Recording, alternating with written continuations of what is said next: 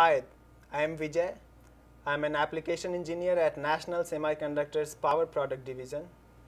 Today I am going to talk about National's high voltage PFET controller IC LM25085 and LM5085.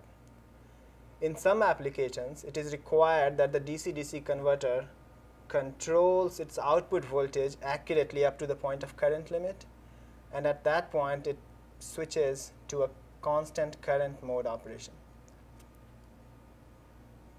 Since the internal current limit of these ICs are not very accurate, we are using an external circuit to achieve a very accurate current limit.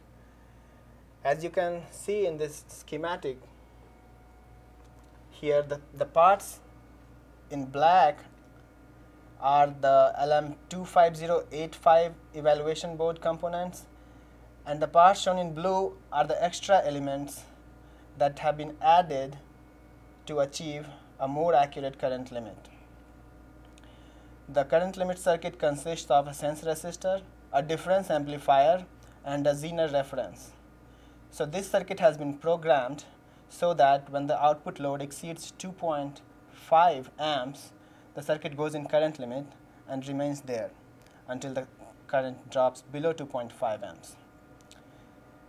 We have an experimental setup here which consists of a power supply, an electronic load, and LM25085 eval board with a small daughter board which has all the elements for the current limit.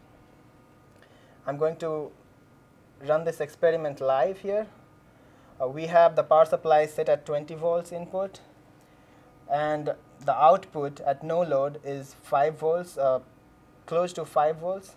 I'm going to change the electronic load so it, it forces the converter output in current limit. So I'm going to change the output voltage of this electronic load to 4 volt.